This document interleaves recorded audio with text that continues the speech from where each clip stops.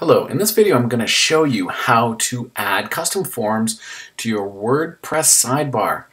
You see, I think a lot about flow of traffic when they get to your website. And yes, we all know to put, you know, have a contact page like we're looking at here and having form-based uh, area that people can fill out and click send.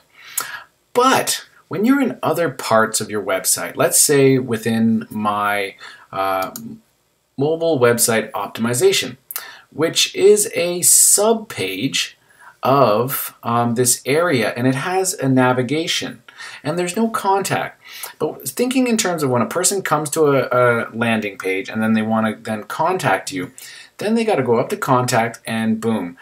I think that I'd like to put a contact form within the sidebar widget area over here.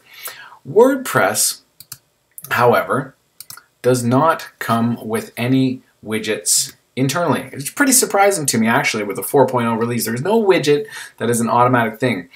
However, WordPress does have the, the avail availability of a plugin called Contact Forms 7. Let's go and look for that. Contact Forms.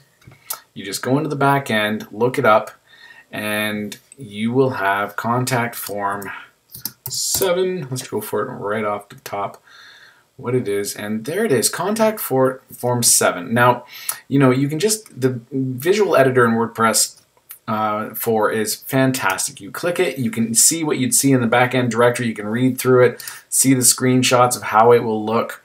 It doesn't read anything in here showing you how to do that, but it's really simple. I've already installed it and it shows up over here on the left hand side of your bar. You go into contact forms and you'll see that I have a contact form set up already.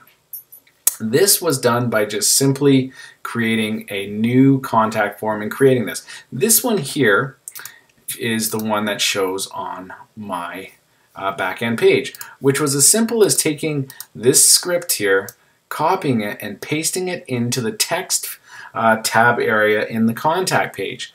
Now to create a widget based contact form, let's go ahead and do that. So let's create an add new set the language, or add new. Sure, they know it is. It's already set to that. I didn't catch that. okay, so um, all you do for this is you go into uh, this area. You'll want to name this. Let's just name it contact form widget. And that's pretty easy. They're going to have you know, your name, they're gonna we're, we're gonna want their email, a subject, a message, and submit send. We're gonna want it to go to our uh, there it is, our email address when they do send it, and uh, from this their name, and then the subject, and then the email. And if you know if you want a message body here, uh, this email was sent from a contact form on so and so, my website, of course. Uh, this is what they get um, uh, replied. So, how do you get this now into it?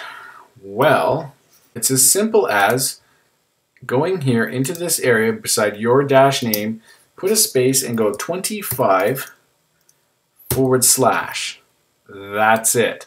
Do that again, copy that, and paste that just past the email put 25 dash, make sure it's inside the closed bracket. Do the same to each of these areas, and that will reduce the text characters uh, that it creates. So I will go save now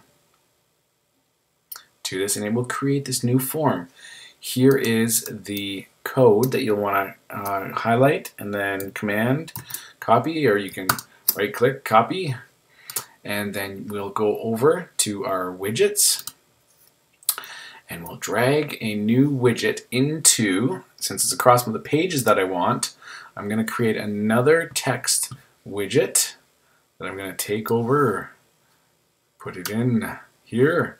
Actually, I'll put it up top because that's the most important. And I will simply place that. And I will name this form, this uh, widget, contact us uh, contact us. That's simple. Not contact us with any questions. And go save. Now, I will close it and I will go back to the front end in pages across my site. I will go into any page and let's see if things worked out. And boom, there it is. Name required subject and there's validation. I didn't send anything, but uh, you've got the gist now. You have forms that are readily easy for when people want like what they're reading on your site can easily email you. Okay, I hope you enjoyed the video and I'll see you in another one. Thank you very much for your time.